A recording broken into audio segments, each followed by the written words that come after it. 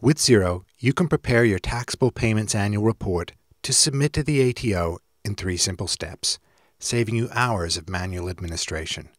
Step 1 Create a report rule which generates a list of contractors and their payments you want to include in the report.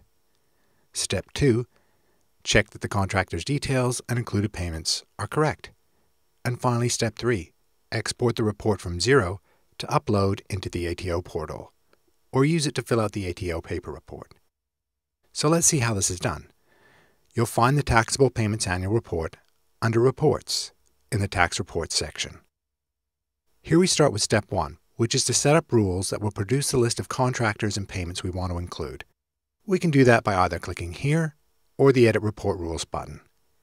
To produce the list, we might use one simple rule, like the one that's already being used here, payments made to all contacts paid from the contractor expenses account, or some similar account that you've coded your contractor's payments to for their services. Okay, what if our contractor payments don't all get coded to the same place?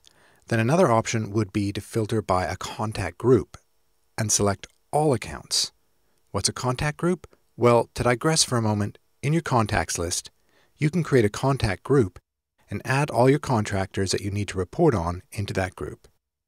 If someone is missing from the group, then tick the contractor in question and simply add them in.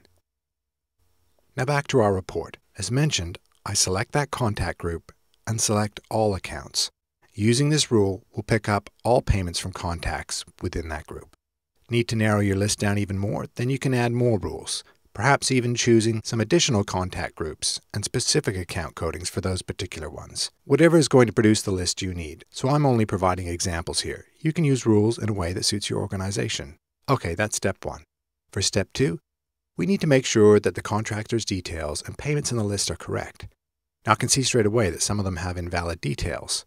So I'll need to check those out, but I'll also want to go through the entire list to make sure that I'm only including the payments I want to report on as well. This one, for example, there's no problem with the contact details. But I don't want to include this payment here, so I'll deselect that one and save. I continue to do the same with all the contractors listed here. And for the ones with invalid details, just make sure the fields highlighted in red are filled out with the correct information. And again, if need be, deselect any payments you wish to exclude. In this case, both of these are okay, so I'll just go ahead and save. Once we're happy with our list, we move on to our third and final step, which is really easy. We simply export the file. If you're still using the ATO's paper form to file your report, then choose Export to CSV and open up the file in Excel where you can transpose the information onto the paper form. For the more automated option, the Export ATO format will produce a file in the format that you can easily upload into the ATO portal. If you have some missing or invalid details for your own organization in Xero, you'll be prompted to correct those first. But once you've done that, then you're ready to go. Job done.